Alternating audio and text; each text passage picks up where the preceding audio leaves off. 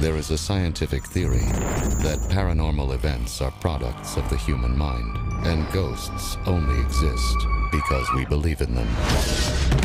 A team of researchers set out to prove this theory and create a supernatural entity with their minds. If we can pull this off, we'll prove that anything supernatural can exist when people believe it. The experiment a success. Where's the flashlight? What is that? What the hell is that? Get the thing off!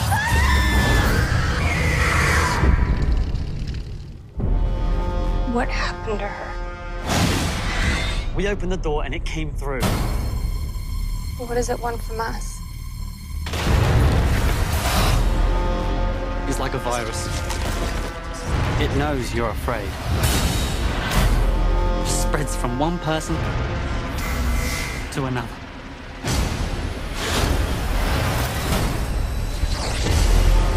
It wants to be in our world.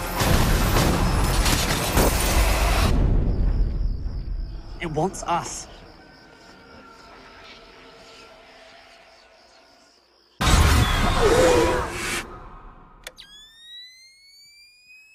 Get out of my house!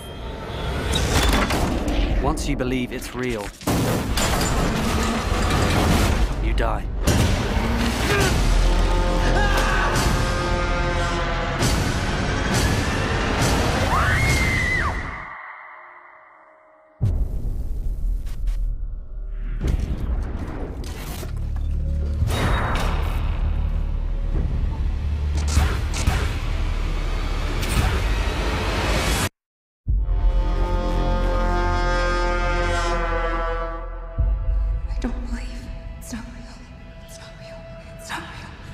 It's not real. It's not real. It's not real.